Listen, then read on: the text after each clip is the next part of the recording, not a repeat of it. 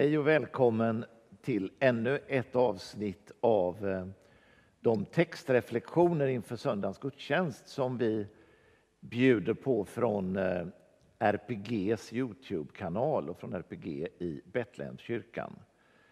Jag heter Per Duregård och jag ansvarar för de här samlingarna men jag har också med mig en gäst varje, dag, varje gång som eh, som läser eh, evangelietexten och sen är med och för ett samtal med mig om det vi läser.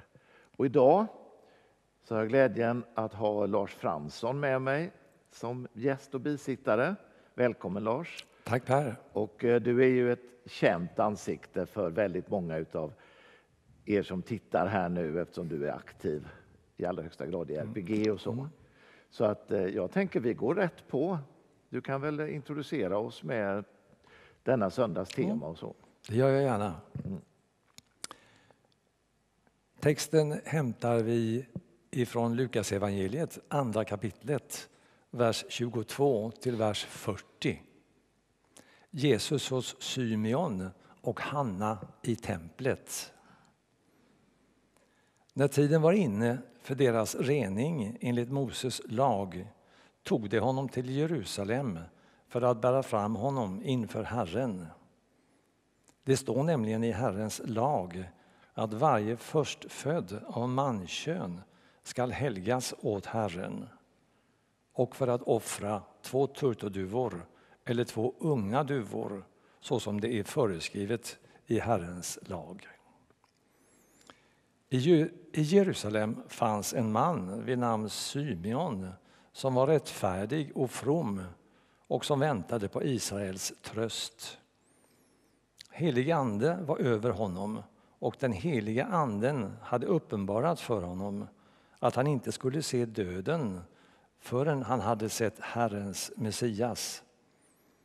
Ledd av anden gick han till templet och när föräldrarna kom in med barnet Jesus för att göra med honom som det är sed enligt lagen tog han honom i famnen och prisade Gud och sade Herre, nu låter du din tjänare gå hem i frid som du har lovat. Ty mina ögon har skådat frälsningen som du har berett åt alla folk, ett ljus med uppenbarelse åt hedningarna och härlighet åt ditt folk Israel. Hans far och mor förundrade sig över vad som sades om honom. Och Symeon välsignade dem och sade till hans mor Maria Detta barn ska bli till fall eller upprättelse för många i Israel och till ett tecken som väcker strid. Ja, också genom din själ skall det gå ett svärd för att mångas innersta tankar skall komma i dagen. Där fanns också en kvinna med profetisk gåva, Hanna, Fanuels dotter av Aschers stam. Hon var till åren kommen. Som ung hade hon varit gift i sju år. Sedan hade hon levt som änka och var nu 84 år gammal. Hon vek aldrig från templet utan tjänade Gud dag och natt med fasta och bön. Just i den stunden kom hon fram och hon tackade och prisade Gud och talade om barnet för alla som väntade på Jerusalems befrielse. När de hade fullgjort allt som föreskrivs i Herrens lag återvände de till sin hemstad Nasaret i Galileen. Pojken växte och fylldes av styrka och vishet och Guds välbehag var med honom. Så Per. Tack Lars. Mm. Och eh, Den här söndagen som vi nu eh, förbereder lite, det är ju också då kyndelsmässodagen. Mm. Och temat är uppenbarelsens ljus. Och kyndel bara som en liten faktaruta. Det är ett gammalt ord för egentligen för fackla. Alltså, eh, man kan säga ljus i överförd bemärkelse. Mm. Och eh, jag vet att i eh, Svenska kyrkan har det varit sed och kanske fortfarande att man, man eh, den här söndagen så välsignar man alla de ljus som ska användas under gudstjänsterna uppskattningsvis, alltså mm. under hela det året som ligger framför. Eh, så att det är liksom en, verkligen en ljusets högtid. Jag, jag hittade också Per, en, ja. en faktaruta ja.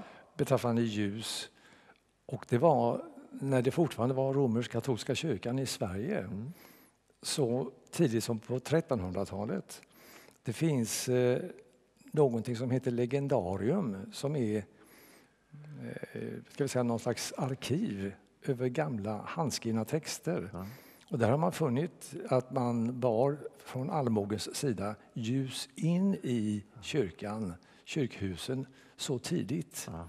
Och det var precis det som du säger också, ja. att man eh, invigde ljusen, fast då var det vaxljus som skulle vara under hela året. Det är rätt svindlande faktiskt. Ja, det tycker jag också. Men då kan man alltså kanske tänka sig att både att det var ljus stöpta i hemmen som man skänkte till kyrkan, mm. men också kanske också de ljus man använde hemma vid sin husandakt och sådär. Det kan, alltså, absolut, kan säkert vara så. Spännande. Ja, det tycker jag också.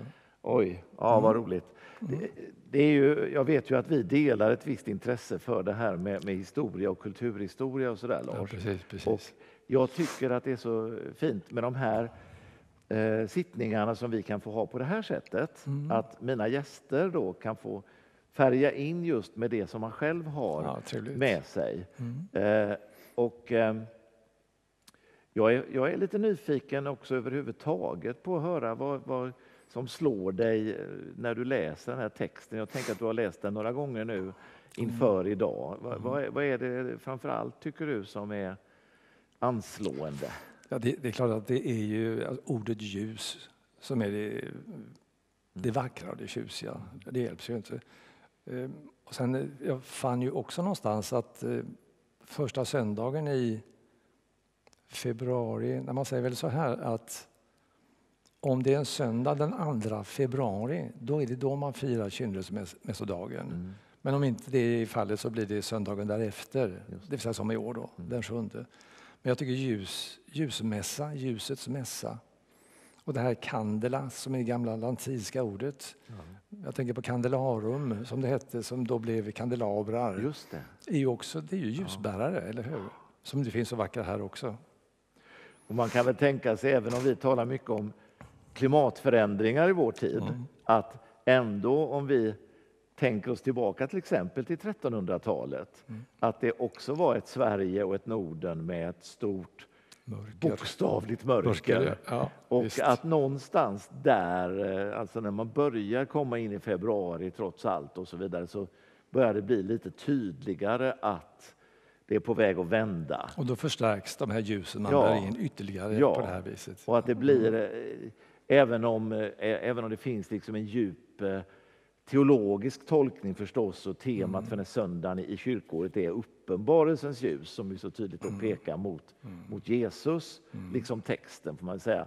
Så tror jag också, precis som du, att, att den här söndagen på ett särskilt sätt kan också få markera en sorts avstamp. Vi brukar ofta sjunga väldigt eh, så säga, eh, optimistiska salmer mm. och sådär. Va? Mm. Alltså, eh, det är också en lite grann en förberedelse för den tiden som kommer sen. För att det, här blir ju som en mellanperiod mellan jul och trettonhelger och sen går vi in i fastetiden ja, med mm. dess allvar mm. på ett annat sätt och så småningom passionstiden. Mm. Så jag tänker också att det här har fått spela en sån roll i, i hela kristenhetens historia. Det är fint. Känner vi kontakt med våra förfäder. Underbart. Mm. Ja, verkligen så. Men om vi ger oss in i texten lite grann då.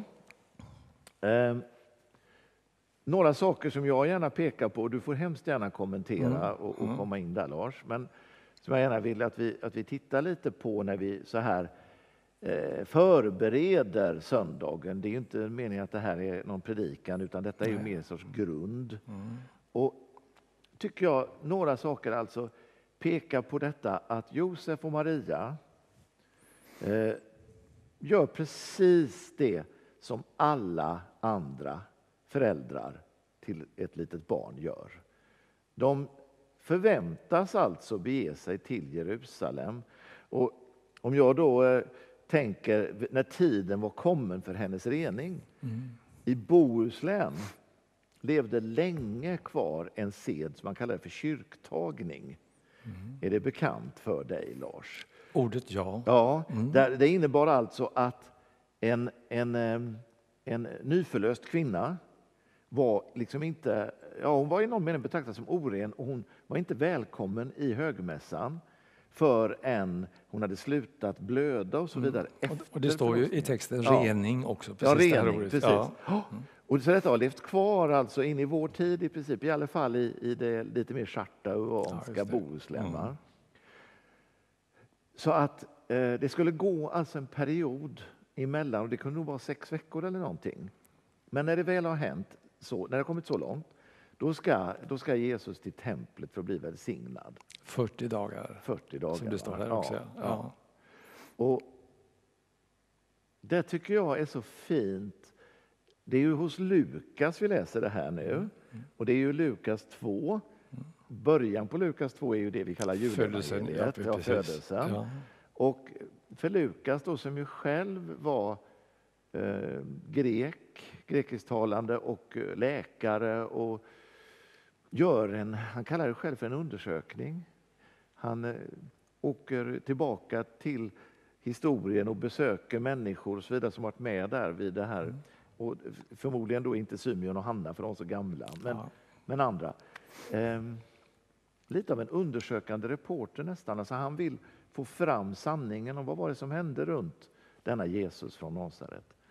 Och det, det han stöter på då här är alltså lite skilt kan man väl säga ändå från änglakörer och ja, vise män mm. som vi har firat trettondedagen mm. ganska nyss. Det, väldigt, det blir väldigt konkret här på något väldigt sätt. konkret. Ja. Va? Och vardagligt och eh, någonting som, som man kan tänka sig idag, alltså att vi alla människor eh, är med om. Nu är det inte alla som låter döpa sina barn, men det är ändå fortfarande mycket vanligt med barndop. Mm. Lite grann av samma tanke här. Va? Att om vi nu säger det här högtidliga då, världens frälsare har, mm. har kommit till jorden. Räddningstimman för jorden har slagit, som det sjungs i sången i jul. Men det lilla barnet är hjälplöst och föräldrarna är två alldeles vanliga, mycket unga judiska personer som gör det som lagen har föreskrivit. Där tar vi avstamp. Va? En uppenbarelse. Ja. Fullständigt. Och, och då är det ju, min bild är att Jerusalems tempel att det var ett, ett myller av liv.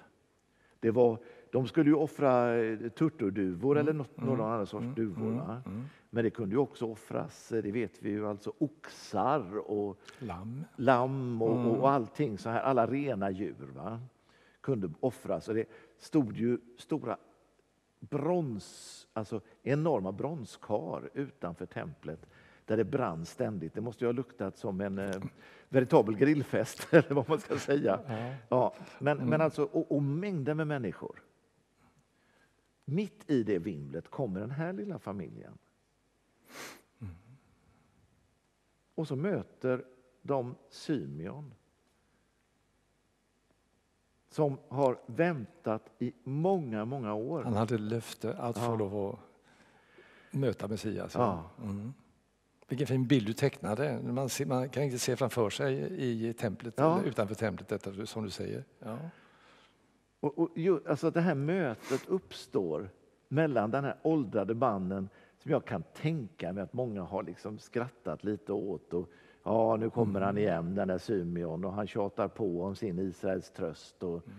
så vidare. Eh, men plötsligt så är han där. Va? Och jag ja, tycker fint. att detta är, eh, alltså när han utbrister i sin eh, lovsång, kan vi kalla det för. Mm. Alltså nu låter du din tjänare gå hem. Va? Mm. Det, det är mitt i vardagen, mitt i myllret, så uppstår det som en liten, sån här, liten bubbla där de möts, tänker jag. Mm. Och där han identifierar det här lilla hjälplösa barnet.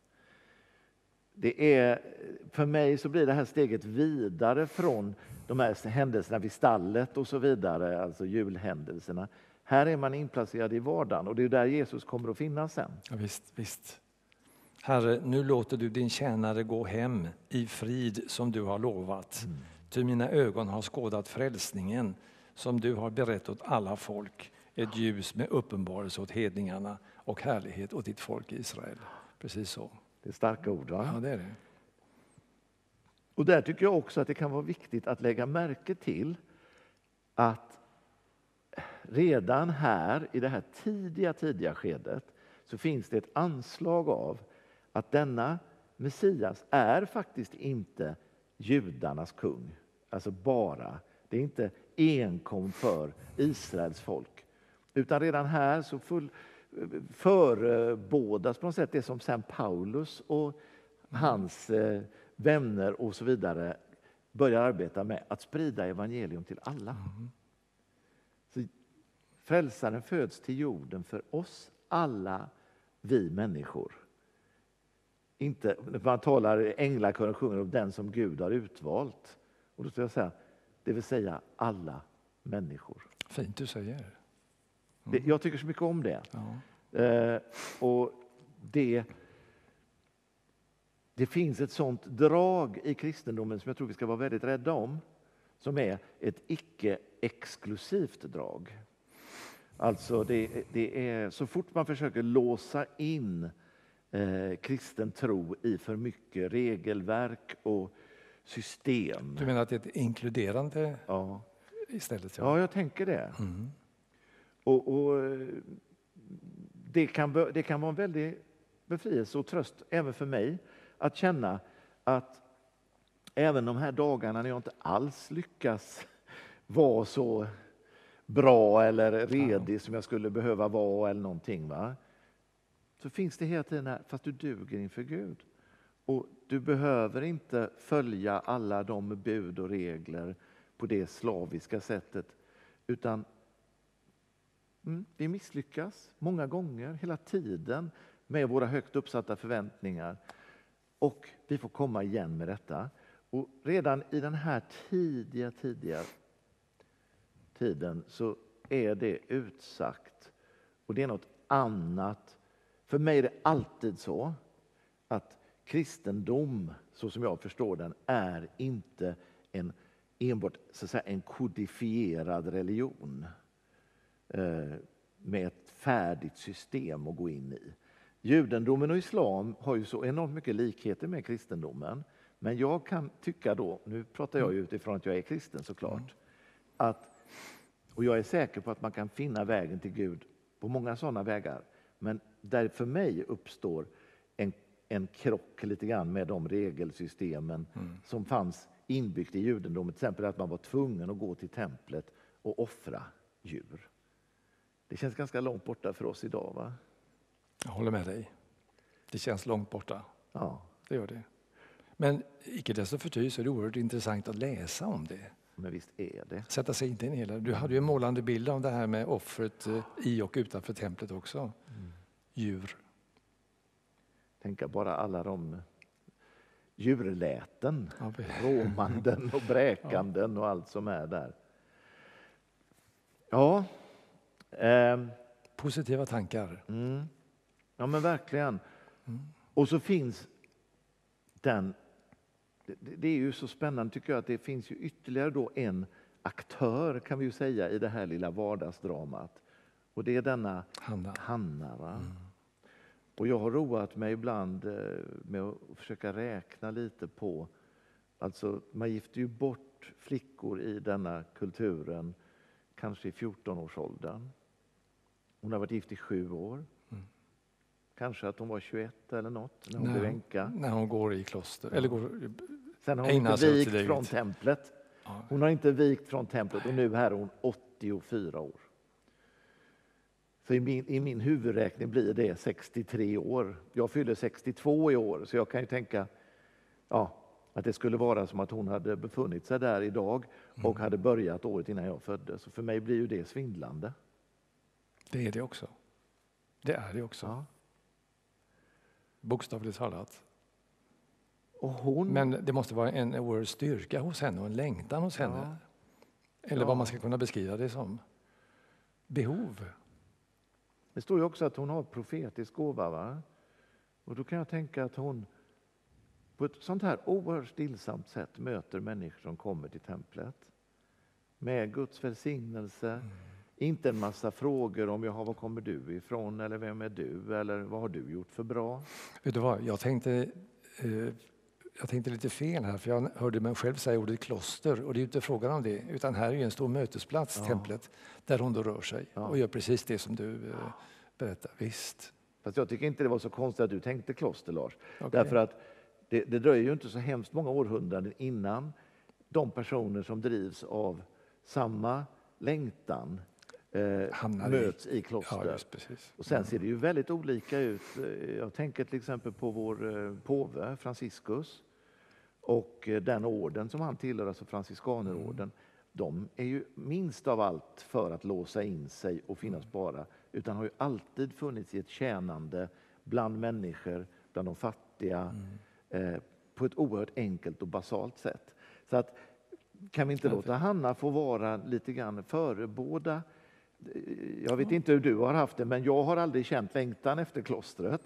Eh, Nej, men men jag lite- kan på någonstans förstå den helighetslängtan och gudslängtan som, som finns i det.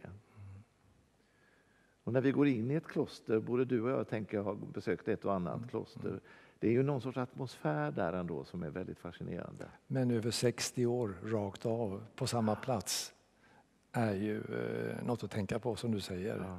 Eller förundras över. Ja. Och det är där jag menar också, templet är ju ehm, en mötesplats. Det är levande, man möter människor. Man blir inte i den meningen självvalt isolerad utan det är ju oerhört öppet. Precis. Ja, det är ju inte En någon eremitgrej. Nej, en dynamik finns ju där förstås. Och det är klart, den kanske finns i ett kloster också, men den är väldigt personlig då. Här kan det bli öppet på ett annat sätt. Ju. Apropå Hanna. Mm. Och, och då tänker jag, för jag vill ju alltid också när vi möter Bibelns texter och Bibelns händelser så vill jag också hela tiden försöka återvända till ja, vad, vad, hur kan vi spegla oss i detta? Och då tänker jag att det är väldigt få givet att, att göra på det sättet som Hanna gjorde här. Jag är ganska hundra procent säker på att hon ännu mer än Symeon betraktades som en mycket märklig, ja, en outsider, va? kanske till och med lite tokig av en del. Ja, där kommer den där fnoskiga gamla damen, hon är ju alltid här. Kan man få tänka så? Att människor som så att säga, av, av eh, världen, så att säga, inte, alltså de är inget märkvärdigt alls i relation till framgång och karriär och, och det här som vi vanligtvis räknar. Att, att det då och då dyker upp sådana här människor. Jag kan tänka på Moder Teresa som ett exempel då som många känner till. Alltså där man, det man har att ge det är lite grann som det finns också en berättelse om änkans skärv i, i, i eh, evangelierna. Va? Det är ju en liknelse, men alltså, man ger av det lilla man har. Och det hon har att ge, det är sin koncentration. Hon viger sitt liv åt det här för andra. Och där kanske vi kan vara lite öppna för när vi möter människor att det är inte alltid så enkelt som att det är the big guys som har mest att säga till oss. Någon skulle säkert kunna säga också att det är fascinerande att det är en kvinna. Det, är, det är ju någonting som kommer att prägla evangelierna och kristendomen hela vägen. Eh, Att kvinnor också har spelat en stor roll. Sen har det kommit märkliga hinder i vägen för det under perioder. Men det finns väldigt grundat redan här. Men här, här låter ju Lukas ändå en man och en kvinna Mm. vara i evangeliet och beskrivs ju. Så det är ju det är två personer i alla fall. Mm. Inte bara Hanna, Nej. utan också Symeon. Och det gör att, att vi alla kanske kan identifiera oss på något sätt. Mm. Det är ju väldigt bra. Ja, Lars. Vi återvänder till ljuset tycker jag så här Mm. när vi drar ihop vårt lilla samtal. Det är något förunderligt med det. Vackert, varmt, strålar. Ja. Tänk om man kliver in i ett alldeles mörkt rum, ett sommarhus som har stått stängt ett tag till exempel och så tänder man ett stearinljus. Jag tänker bara på idag som råkar vara när vi har det här samtalet 20 Knut. Där de flesta av de här elektriska ljusen ändå förmodligen bör monteras ner. Mm. Ja, det blir väldigt tomt. Men jag tror vi ska fortsätta att tända våra ljus. Det gör vi såklart. Och eh, Om en- samtidigt ja. konstatera att ljuset börjar komma så smått, i, så att säga rent fysiskt. Men också landa i, må det här året få innebära lite mer av ljus in i alla våra liv. Och för dig som sitter och följer det här nu och som kanske är en av dem som upplever att det har varit väldigt svåra tider och är svåra tider med mycket ensamhet. Så kanske vi kan hoppas att det här att vi lite oförtrutet ändå sänder varje onsdag eh, på RPGs Youtube-kanal här. Att vi kan få vara ett litet ljus in i, eh, om inte mörkret så i alla fall det här lite jämngråa som den här pandemitiden kan upplevas som, tror jag. Vad fint du säger, Ja. tycker Jag jag. tror inte att, det kan få, att vi kan få Mm. tänka så. Och jag är så tacksam över att vi kan erbjuda fina program. Och jag, jag tog med här så jag ska kunna säga vad det är som väntar eh, söndagen efter när ni har mött det här. Och då är det, eh, eller onsdagen efter, förlåt mig. Då är det eh, så att Lars Tenfelt kommer att ha med sig kameran och vi får höra historien om vår omfattande emigration för hundra år sedan. När 1,5 miljoner människor lämnade Sverige under åren 1850 till 1930. Så det blir en bildvandring och en berättelse om de frågorna. Onsdag klockan 11. Och vänd dig vid att bara bänka dig, ta en kopp kaffe, en eh, kringla eller en smörgås. Sätt dig och var med. Stort tack Lars Tack för att du ville vara med idag. Mm. Och eh, hej då, säger vi till alla er Mm. som är hemma där. Väl mött.